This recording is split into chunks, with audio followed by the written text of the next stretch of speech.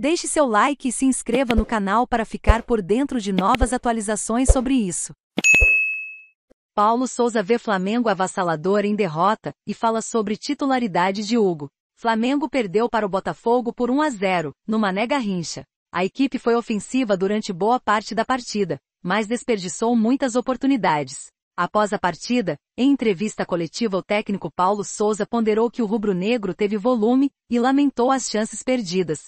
Mas confira a tabela da Série A. Acho que o volume de oportunidades foi avassalador, essa é a melhor explicação. Nós tivemos as oportunidades bem claras, tivemos um volume grande, tirando os primeiros 15 minutos em que nos precipitamos. Jogamos bem rápido, e não tínhamos controle de jogo, afirmou o técnico, que na sequência emendou dizendo que após o período inicial, o time jogou de outra maneira. A partir dos 15 minutos, nos organizamos bem, criamos pelos corredores tanto pela direita, esquerda, quanto pelo corredor central. Fizemos gol que foi anulado. Sobretudo, explica-se desta forma, porque tivemos várias oportunidades bem claras e poderíamos ter saído daqui com a vitória. Na próxima rodada, o rubro-negro encara o Ceará, às 16 horas e 30, no Castelão. Mas antes, volta ao Rio de Janeiro para enfrentar o Altos Pi, na quarta-feira, às 19 horas e 30, pelo segundo jogo da terceira fase da Copa do Brasil.